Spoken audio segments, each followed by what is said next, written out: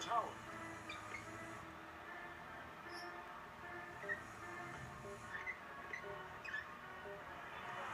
couldn't beat the buzzer. That's a turnover.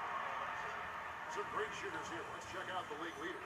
And if you look at Durant, leading the league in field goal percentage, he always gets good looks.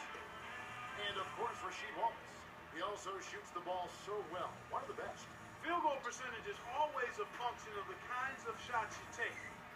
This guy here, I tell you what, not only does he make high percentage of his shots, but he takes good shots on a regular basis.